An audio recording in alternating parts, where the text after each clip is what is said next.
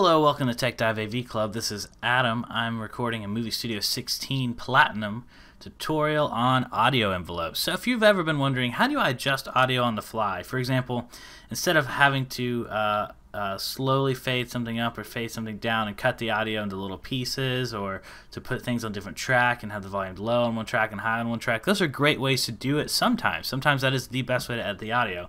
But sometimes you got one continuous track and you just got a couple of things you want to tweak, whether or not you want the music to fade up or fade down behind you or whether or not you want the, um, you know, uh, just to fix something. So let me show you what I got to fix here.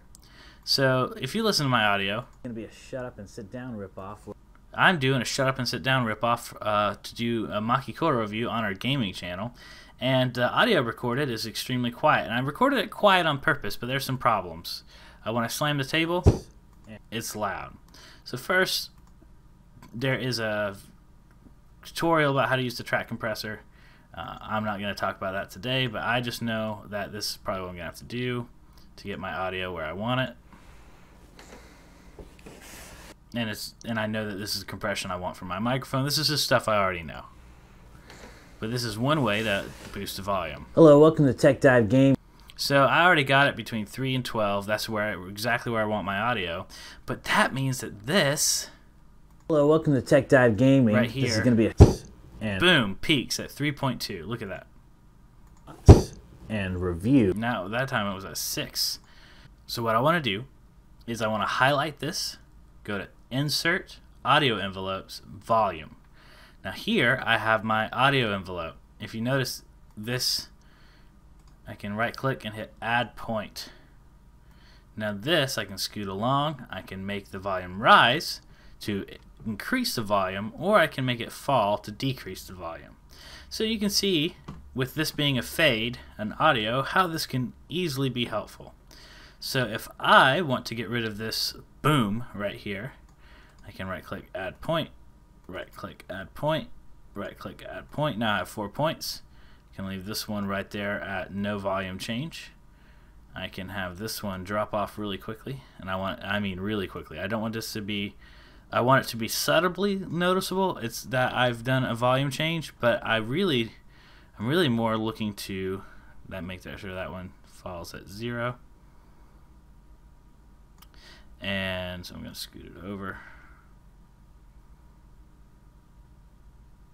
You can see it'll tell you exactly what the volume is on that little drop down on your mouse. And I want this down like this. Let me see. Let me listen. And sit down ripoff where we unbox and review Boom. That little boom right there and review. is now so much more palatable. It's not going to kill someone's ears in the speaker. And I've not had to cut anything up and slice anything up. I'm going to need these audio envelopes throughout, which is why I want to use them, because there's a few spots where I just smack the table or do something kind of extra loud. So I would like to be able to go in here and adjust that audio on the fly as I'm editing. So Thank you so much for watching. This has been a Movie Studio 16 Platinum tutorial. I also have a pro version of this, which is very similar because the softwares are very similar. And uh, we have more, lots, lots, lots more tutorials coming out. So like if this video helped you out. Subscribe if you're looking for more tutorials like this one. I'm working on Udemy How to Edit series right now. I'm hard at work at that. I know some of you guys have asked me for a uh, keyframing tutorial. I'm also working on that. Some of you guys have asked me for a... Um, sky replacement tutorial and I'm also working on that. So I got those two things coming down the pipe soon and uh, hard at work at a lot of things. If you want to see this uh, Machi Koro review you can go to our gaming channel and uh, give it a look. It's uh, linked from our page from our Tech Dive AV Club homepage. So thanks for watching. I'll see you next time